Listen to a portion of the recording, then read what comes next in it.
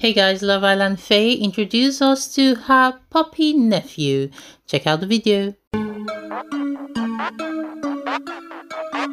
The reason I've come back down to Devon for one day is to look after this guy. Hello, baby. Hi.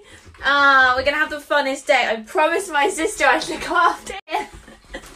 Um, and obviously family comes first, doesn't it, baby?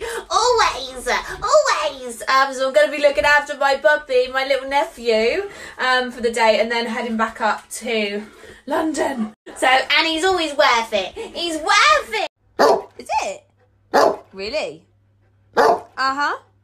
Cool. You give me jip. huh? You're gobby. Really? They say dogs are like their owners. Yeah. and this is why I love Devon Life. Look at him.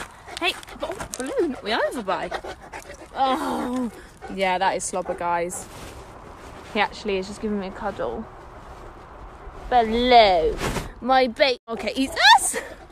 You can't sit on my lap. Oh, thinks he's a lapdog. She looks so happy. She really loves her puppy nephew. Well guys, tell me your thoughts in the comment section. And before you go, like, share and subscribe for more videos.